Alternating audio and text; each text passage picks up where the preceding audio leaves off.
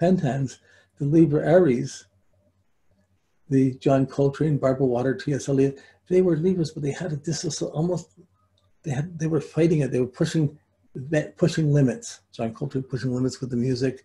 Barbara Walters was a very smart, challenging um, interviewer.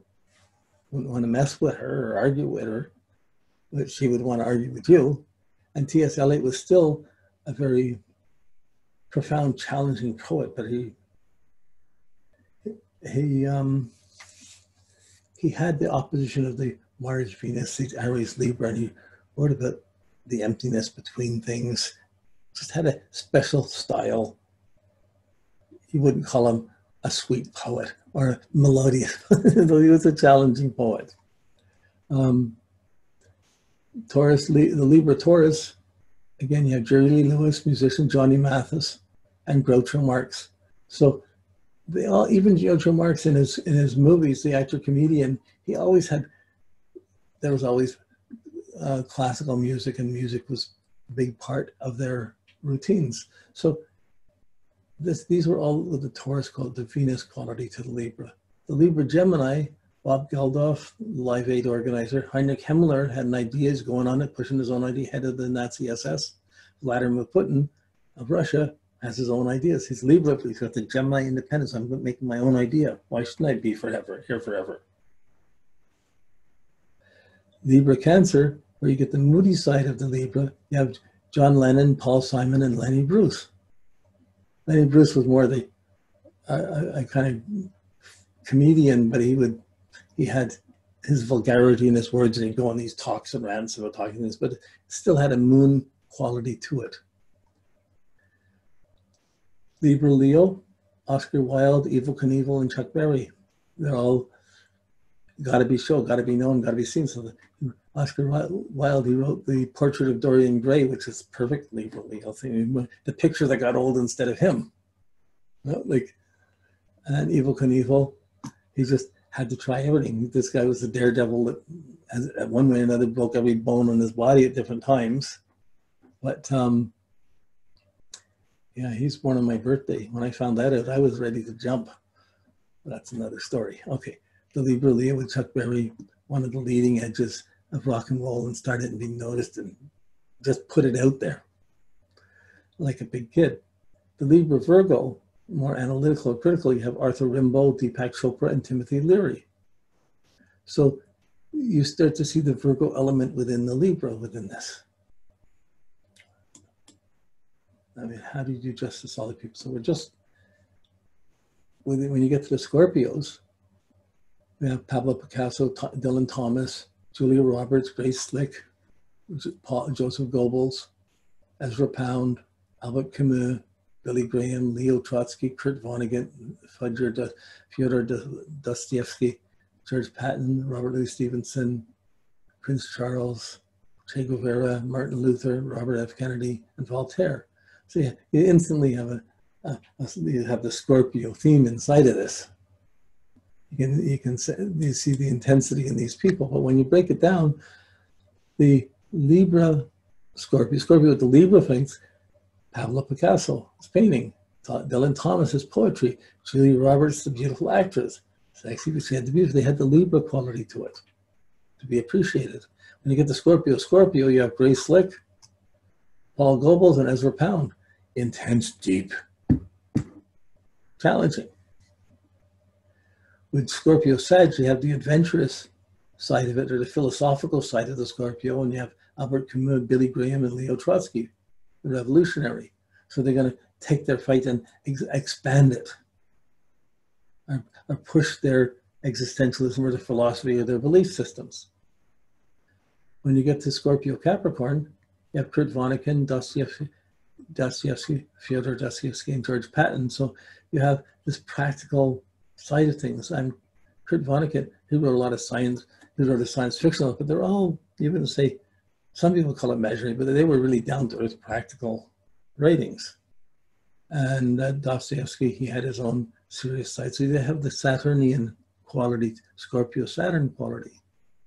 The Scorpio Aquarius, you have Robert Louis Stevenson, the author. You have Prince Charles, who the prince who desired to be king, but had his uh, had his own affairs and his own situations on the side. Um, che Guevara again, revolutionary leader, fight fight against the injustice. Um, when he gets Scorpio Pisces, Martin Luther King, founder of Protestantism, Robert Kennedy, um, Voltaire.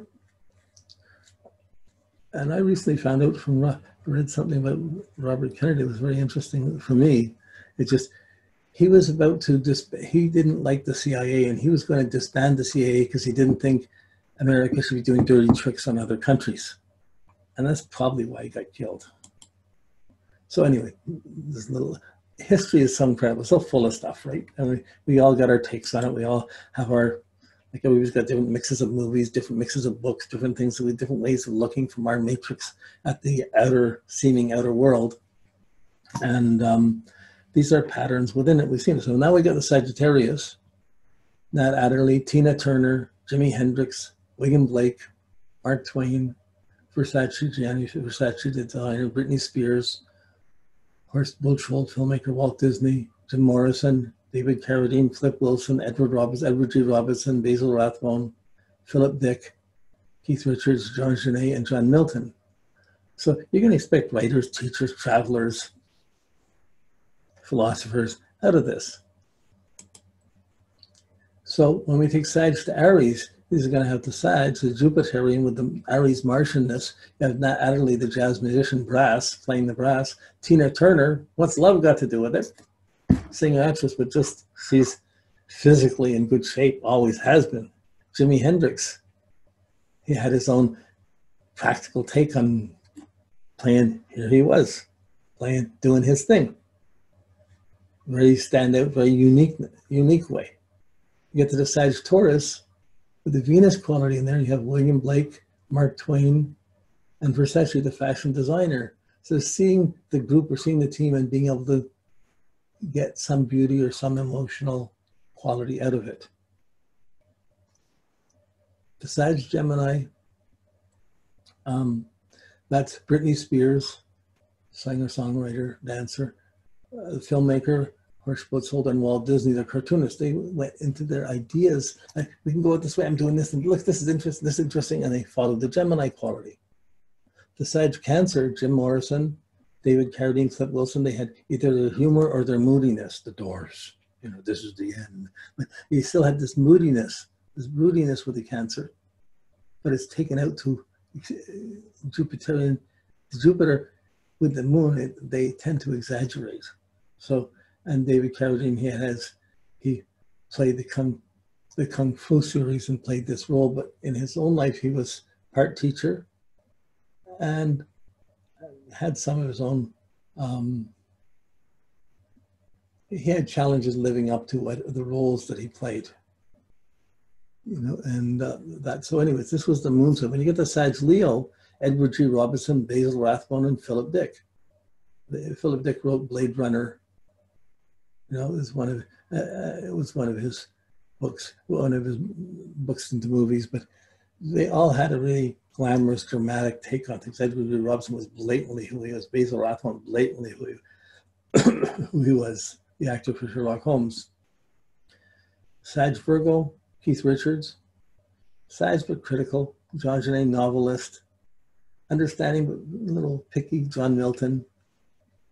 So you have the critical side of the understanding paradise lost. It's almost like the Virgo analyzing the Jupiter paradise, the Sag paradise. But each of these, you could, it's just a starting point. You can go deeper from it, but it's a very useful starting point as you're doing each sign, as you're working with people that are just real people, and you see these qualities, and you watch the person has that quality. It's so, now Capricorn. We got we're this far. We got to get through them all. How are we doing for time? Yeah, okay, this is good. Um, Tycho Brahe, Howard Hughes, Mao Zedong, Denzel Washington, Mary Tyler Moore, Tiger Woods, Jim Bakker, Mel Gibson, Diane Keaton, Elvis Presley, Van Cleef, Lee Van Cleef, Western, Richard Nixon, Rush Limbaugh, Herman Goring, Joan of Arc, Nelson Mandela, Martin Luther King, and Muhammad Ali, all Capricorns. We get down to Capricorn Libras, Tycho the astronomer mathematician, Howard Hughes, the millionaire aviator, and um, Mao Zedong. So they had the practical side, but you had the idealist and the and the dreamer and the visionary of the Libra, the, the Venus air element coming into that. The Capricorn Scorpio, Denzel Washington, Marie Tyler Tiger Woods. They're practical, they're intense, but they have their fights, their intensity. Mary Tyler Moore was first female star with her own show. She was just blatantly there. And then Tiger Woods, he became the golf champion, did the Martian thing, but then there was struggles with his marriage and his home life around that.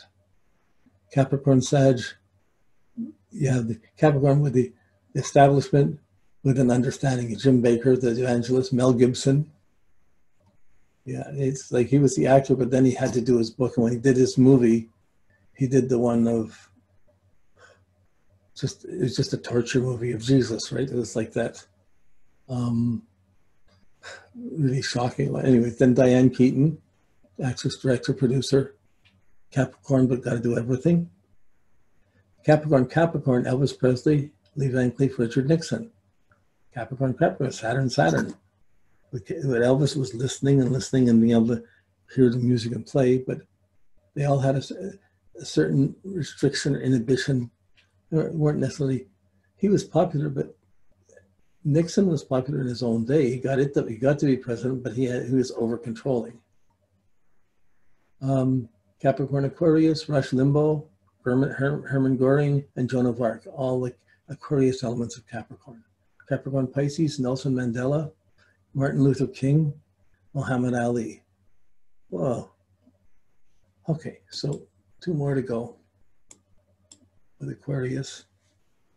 We've got Buzz Aldrin, Benny Hill, Aquarius, Jack Nicklaus, Virginia Woolf, Angela Davis, Oprah Winfrey, James Joyce, Richard Steins, Charles Lindbergh, Eva Braun, Dick, Charles Dickens, Bob Marley, Carole King, Boris Pasternak, Arsenio Hall, Edgar Bergen, Yoko Ono, and Brad Steiger.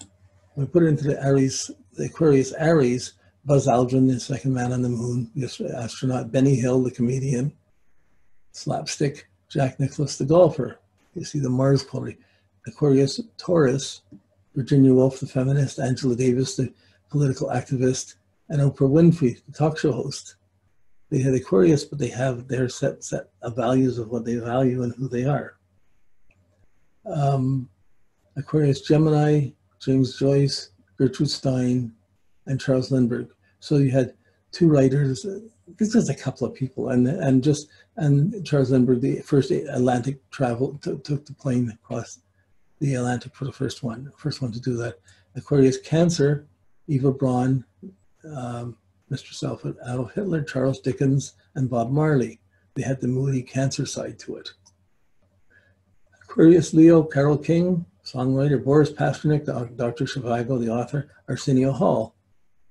Smart and kind of proud and noticeable. Aquarius Virgo, you have Edgar Bergen, Yoko Ono, and Brad Steiger. The ventriloquist, I thought was an interesting twist on that. The art, artist singer, kind of strange and, and critical, and Brad Steiger, writer of the paranormal.